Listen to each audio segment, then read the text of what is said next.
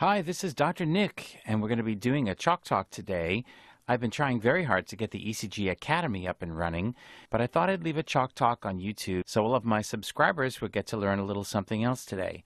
Remember, Chalk Talks are for people who know the basics, but they're designed to get you used to reading more difficult tracings. So here's a rhythm strip that I got from our CCU. So remember, look at the forest first, and as you scan across, you can see there are QRS complexes that seem to be marching through at a regular rate, except for this one. This one is clearly premature, and I think we'll come back to that. There does seem to be a compensatory pause afterwards.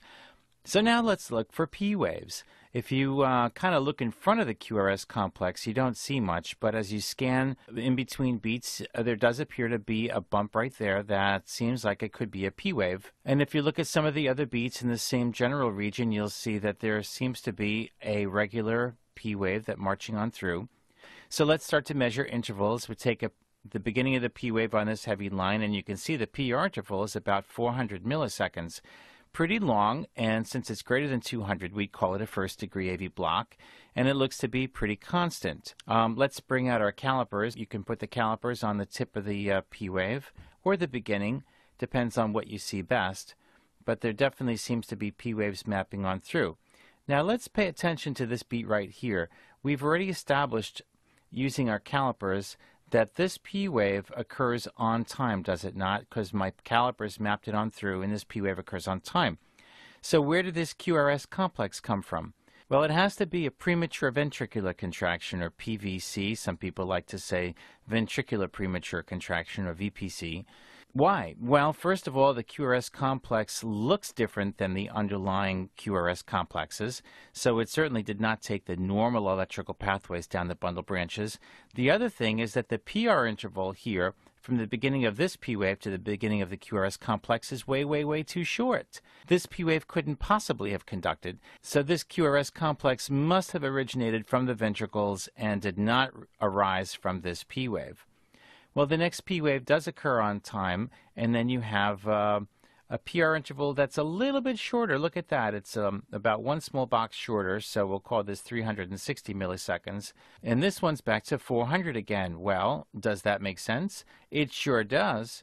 Um, that's because after the, this bit of a pause, the AV node has a little bit of a, of a break, and so it's able to conduct this P wave a little bit more efficiently at a somewhat shorter PR interval than this one. This is not the same as Wenckebach, but it is a reflection that the AV node conducts better at slower rates and worse at faster rates. And the coupling interval from one beat to the next certainly plays a role in how the AV node conducts. Now, here's the question.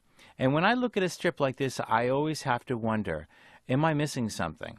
Because we'd normally say, all right, this looks like a sinus rhythm with a first degree AV block and a PVC here, but am I missing something? Because the way the, the, the location of this P wave, it's right smack in between the two QRS complexes. And when I look at a strip like this as an ECG expert, I always wonder could there be another P wave buried in this QRS complex? In other words, could this be some kind of atrial tachycardia with 2 to 1 conduction? With an atrial rate, well, what is the rate here? 300, 150, 175. So could this actually be an atrial rate of 150 with a long first degree because of the rapid rate? And am I missing a P wave in between? Hmm, well, prove it to me. Prove to me that there's no P wave in there. Prove to me this isn't 2 to 1 conduction. Well, I'll show you how to do that. The, the PVC is the key. Here, let me just erase some of this. The PVC is the key because the PVC disturbs the cadence. It throws the rhythm off.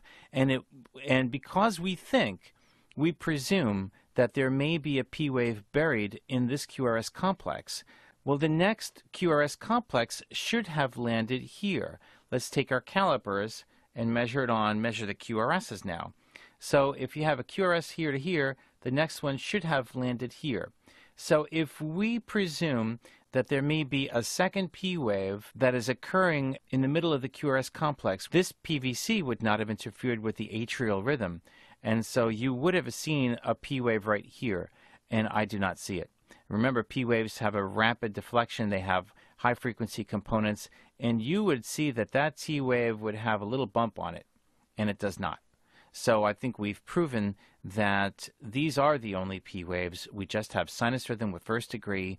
The idea that this was two to one conduction has now been disproven, and I think this was kind of a neat tracing, don't you? Well, this is Dr. Nick from the ECG Academy. Thanks for watching, and remember, log on to ecgacademy.com because by the third week in December, I should be offering a basic subscription to those of you who want to become ECG experts like me. In the meantime, thanks for watching.